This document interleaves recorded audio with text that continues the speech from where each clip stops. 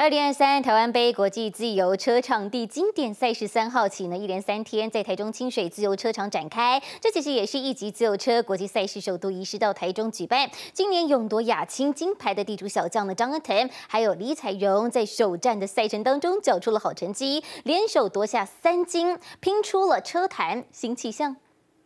手持冠军花束与台中运动局局长李玉瑞合影留念。地主小将张恩腾、李彩荣在今年经典赛首战联手包办三金。展现出台中深耕自由车的发展成果，希望让选手向下扎根，让我们青年、青少年选手能充分利用这个自由车场，让他做好培训的工作，让我们的选手的来源人才供输不要间断。二零二三台湾杯国际自由车场地经典赛，共吸引全球六国十八队一百二十六位精英选手同场飙速，其中台湾队更是精锐进出，希望借由这次赛事以赛代训，备战亚运以及全国。运动会，我们全国运动会也要参加亚运，这个都是选手在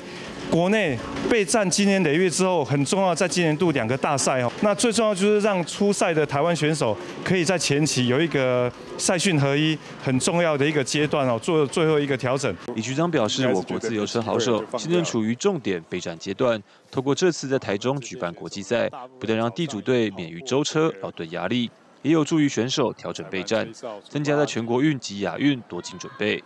记者曾华报道。